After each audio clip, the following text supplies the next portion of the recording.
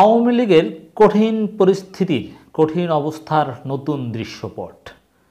নতুন সমীকরণ অনেক অনেক হিসাব নিকাশ পাল্টে যাচ্ছে। এই পরিস্থিতি সামাল দেওয়া আওয়ামী লীগের জন্যে অত্যন্ত কঠিন হতে যাচ্ছে। দিন দিন সংকট ঘনীভূত হচ্ছে। ভারত চীনের মধ্যে সমন্বয় করার বিষয়ে দিন যত যাচ্ছে, আওয়ামী লীগ তত জটিলতায় পড়ছে। দর্শক, নতুন একটা কলাম বিশ্লেষণ করব আমরা পনেরো মে চব্বিশ।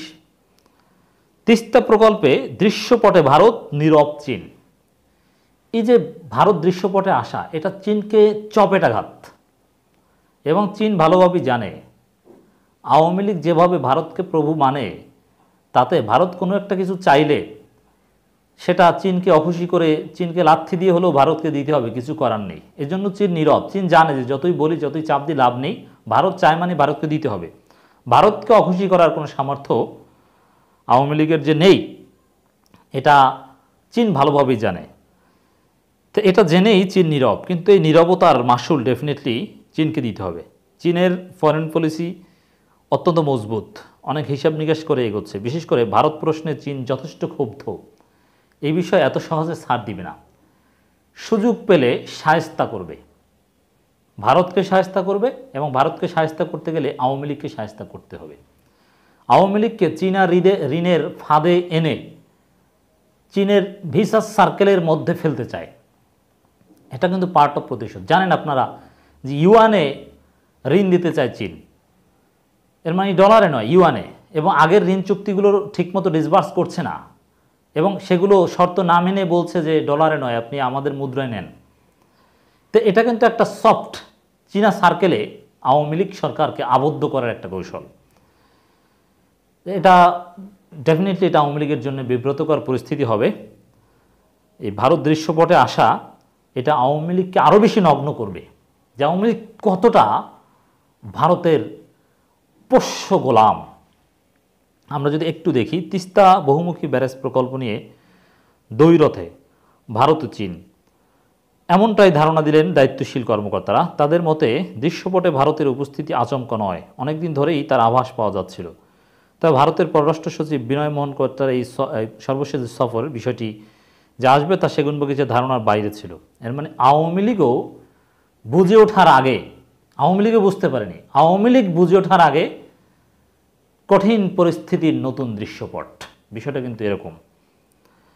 কারণ ভারত এখন নির্বাচন চলছে ভারতে। তাছাড়া কোয়াত্রা সফরে প্রধানমন্ত্রী শেখ হাসিনাকে ভারতে আমন্ত্রণ জানানোই ছিল মুখ্য। সেখানে দ্বিপাক্ষীয় বিষয় নিয়ে আলোচনার সুযোগ কম ছিল। কর্মকর্তারা এটা নিশ্চিত করেছে যে পররাষ্ট্র সচিবের সঙ্গে আলোচনায় নিয়ে একটি শব্দ উচ্চারণ করেনি দিল্লির বিদেশ সচিব। তিস্তা প্রকল্পের অর্থায়নে আগ্রহ তিনি পররাষ্ট্র মন্ত্রীর কাছে ব্যক্ত করেছেন। বুঝতে পারছেন? ঘোড়া ডিঙিয়ে ঘাস খাওয়ার মতো। এই ধরনের নিচ থেকে আলোচনাগুলো সামনে আস্তে আস্তে যেতে হয়, কিন্তু না। সবাইকে ভারত আসলে যাকে মন চায় তাকে। অনেক কিছু মন্ত্রীযন্ত্রী কাউকে কেয়ার করে না। সরাসরি প্রাইম মিনিস্টার অথচ প্রাইম মিনিস্টারের ডেস্ক এগুলো না। কিন্তু তারপর প্রাইম মিনিস্টার হ্যান্ডেল করতে হয়। এতটা প্রভুসুলভ আচরণ করছে, তুচ্ছ তাচ্ছিল্য করছে বাংলাদেশকে। তবে সেখানেও কোনো ফর্মে কতটা অর্থায়ন করবে নয়াদিল্লি তা নিয়ে সুনির্দিষ্ট কোনো আলোচনা করেনি বিনয় মোহন কোয়াত্রা। ভারতের এই প্রস্তাবের পর চার বেশ অনেক দিন পার হয়ে গিয়েছে। এর মধ্যে সেগুন যে আনুষ্ঠানিক বৈঠক করেছেন ঢাকায় নিযুক্ত চীনা কূটনীতিকরা। এর মানে চীন নীরব থাকলেও কিন্তু এটা একটা বার্তা। চীন তো সূক্ষ্মভাবে প্রতিশোধ নেবে। এখন দেখেন, ভারত তো নিতে চায় মানে নিবে, এটা কেউ ঠেকাতে পারবে না। তিস্তা প্রজেক্ট ভারত করার কথা বলে দরপত্র বা অমুক কাজ টাজ শুরু করার কথা বলবে, কিন্তু দিন শেষে ভারত এটাকে আটকে রাখবে।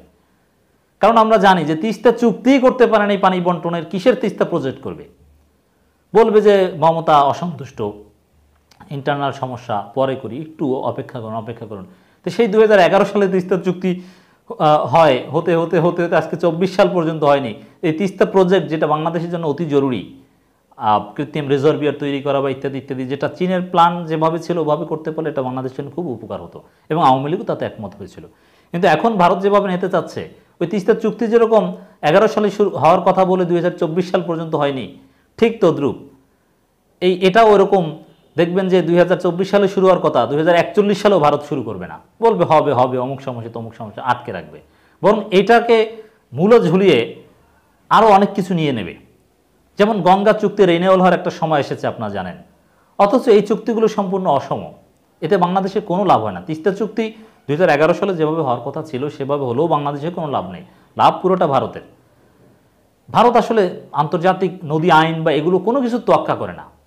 তারা জোয়ারের দেশ তারা নিজেদের ইচ্ছে মতো পানি আটকে রাখে। অত, অথচ ন্যায্যতার ভিত্তিতে হওয়াটাই আন্তর্জাতিক আইন। কিন্তু সেগুলো তারা কেয়ার করে না। তো এরকম আসলে এই তিস্তা প্রজেক্টটা ভারত বাগিয়ে নিয়ে, এগুলো তো করবেই না, বরং আরও জটিলতা তৈরি করে আওয়ামী লীগকে আরও বেশি ঘাট ধরে আরও অনেক কিছু নিয়ে যাওয়ার একটা পরিকল্পনা। এটা হচ্ছে স্পষ্ট। কিন্তু এতদিন ধরে তিস্তা প্রকল্প নিয়ে আহ, উচ্চকণ্ঠ চীনের প্রতিনিধিরা এই বিষয়ে একটা কথাও বলে নেই। এই যে চীন একেবারে অতি নীরব হয়ে গেছে নীরব হওয়াটাও সরকারের জন্য একটা কঠিন বার্তা ডেফিনেটলি সুযোগের সিস্টেমে চীনের করায়ত্ত করবে আওয়ামী লীগকে তখন বুঝবে মজা শ্রীলঙ্কার মতো পরিস্থিতিতে যেদিন পড়বে। যা রহস্যজনক ঠেকেছে সরকারের সংশ্লিষ্টদের কাছে। অবশ্যই রহস্যজনক এই চুপ থাকাটা আওয়ামী লীগের জন্য ভয়ানক বুঝতেও পারবে না। বুঝে ওঠার আগেই নতুন দৃশ্যপটে হাজির হবে। তবে সেগুন বগিচা বলছে, প্রকল্পটি বাস্তবায়ন প্রশ্নে বাংলাদেশের অবস্থানে কোনো হেরফের নেই। নয়াদিল্লি ও বেজিং উভয়ের কাছে ঢাকার বার্তা স্পষ্ট এবং অভিন্ন। এখন ভারতকে বার্তা দিবে আর ভারত সেই বার্তা কেয়ার করবে, এটা কি হয়? ওই যে, যেটা বললাম যে একচল্লিশ সালে এটা শুরু করবে না, আর চীনকে দিলে চীন দুই সালে শুরু করতো।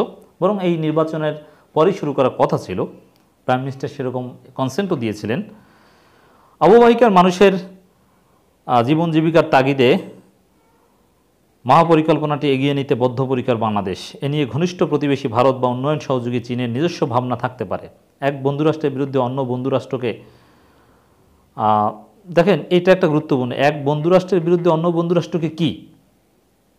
এই যে এক বন্ধুরাষ্ট্রের বিরুদ্ধে আর এক বন্ধুরাষ্ট্রের এই সব কথাবার্তার কোনো ভ্যালু নেই। এগুলো হচ্ছে ফাও কথা। Enemy of my enemy is my friend অতএব এক বন্ধুরাষ্ট্র আর এক বন্ধুরাষ্ট্রর শত্রু হয়। সক্রিয় করা কোনো হীন চেষ্টা যে বাংলাদেশে নেই, তা উভয়ের কাছে খোলাসা করা হয়েছে। এটা লাগে না, এটা অটো থিওরিতে পড়ে।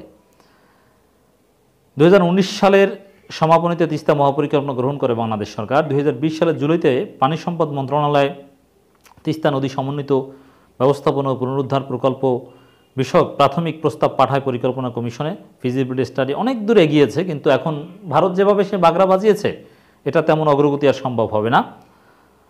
অনেক আলোচনা এই কলামে এসেছে। গত বৃহস্পতিবার বিনয় কয়েত্রা, সৌজন্য সাক্ষাৎ করেন পররাষ্ট্রমন্ত্রী ডক্টর হাসান মাহমুদের সঙ্গে সাক্ষাৎ শেষে পররাষ্ট্রমন্ত্রী তিস্তা প্রকল্প নিয়ে আলোচনার বিষয়টি প্রকাশ করেন। এটা মানে কি জানেন? পররাষ্ট্রমন্ত্রীর মাধ্যমে বা পররাষ্ট্রমন্ত্রীকে ভারত বাধ্য করেছে ভারতের আগ্রহের বিষয়টা প্রকাশ করতে। এর মানে ভারত যা যেভাবে আওয়ামী লীগ সরকারকে বলে সেভাবে করতে বাধ্য হয়। দেখেন, সরকার কিন্তু আসলে তাদের পরিকল্পনা যে মন থেকে ভারতের আগ্রহের বিষয়টা এভাবে জানাতো না। কারণ জানে এটা সরকারের জন্য বিব্রতকর। কিন্তু তারপরও বিনয় কর্তা বলেছে যে, আমি আছি, তাড়াতাড়ি এটা বলো। হাসান মাহমুদকে বলছে, তাড়াতাড়ি বলে দাও যে ভারত চায়। বলে দিতে বাধ্য হয়েছে। না হলে এটা এরকম এই এই বিব্রতকর পরিস্থিতি আওয়ামী লীগ নিজেদের জন্য নিজেরা টেনে আনতো না। তারপরও বলেছে। তো এখন কনক্লুশনে যেটা এসেছে, যে ভারত যেভাবে নিজেদের পরিকল্পনা মতো বাস্তবায়ন করতে চায়, পানির মূল উৎস এবং বিকল্পিকা, বিকল্প কারিগরি ব্যবস্থা সব ভারতের হাতেই থাকে, তাহলে বাংলাদেশের হাতে কিছু থাকে না। এর মানে বাংলাদেশকে আরও বেশি গোলাম করে রাখার আরও আরও একেবারে অনুগত ভৃত্ত করে রাখার একটা প্রজেক্ট একটা চেষ্টা। আওয়ামী লীগের জন্য সত্যি কষ্টের দৃশ্যপট, কিন্তু কিছু বলতে পারছে না। নৈতিকতা না থাকলে এটাই।